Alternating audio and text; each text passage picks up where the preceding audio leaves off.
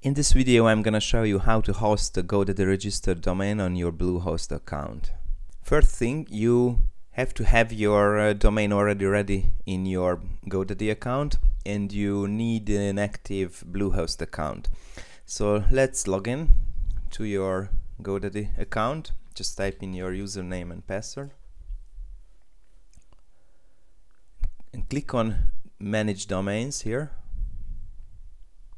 and now you see the list of your active domains on your GoDaddy account. Select the one that you want to host on your Bluehost account. Let's say uh, we host this joomdown.com this time. Click on it and you see a list of uh, the setting of your domains. Click on name servers and manage. And you can see some uh, name server setup here. Usually it's the standard GoDaddy setup, which is uh, ns something.domaincontrol.com. You need to select custom, then edit name servers, delete these things. I don't know, this is from the old uh, owner of the domain. And type in ns1.bluehost.com and ns2.bluehost.com. These are the name servers of your Bluehost account. so that's all you need. Uh, you press OK and you press save and now your GoDaddy domain points to your Bluehost account. There is one more step. You need to set this up in your Bluehost account. So let's just log in to your Bluehost account. And here we are in uh, in our cPanel in the Bluehost account. So search for domain management and add-on add-on domains. We we need an add-on domain. This is what it's called in domain management. so here you need to type in your domain name. In this case, it's joomdown.com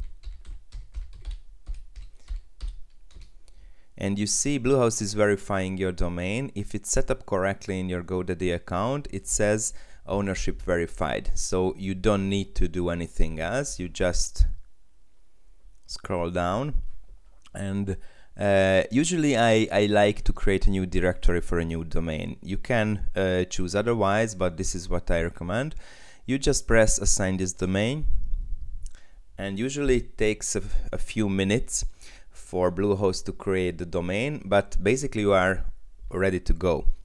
Uh, when you set up, when you point your domain from GoDaddy to another uh, hosting company, it usually takes from a few minutes to one or two hours to propagate this change through the internet. Usually you can uh, start using it right away, but sometimes you need to wait a few minutes, a few hours, but uh, you are ready to go once uh, Bluehost finishes uh, setting up your domain, you can check it uh, in your browser and you can start uploading your files or installing WordPress. This is when it looks like when Bluehost finishes uh, creating your new domain. and let's just give it a try. Just type in joomdown.com.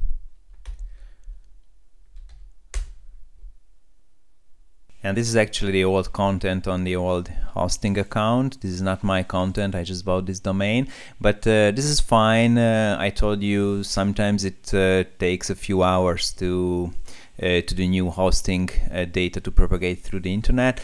But here we are back a few hours later and and just uh, typing the same domain name joomdown.com this is what you want to see. This is okay. This is uh, this is a generic Bluehost page, and this says that the the domain actually points to Bluehost, and and your Bluehost account is set up correctly.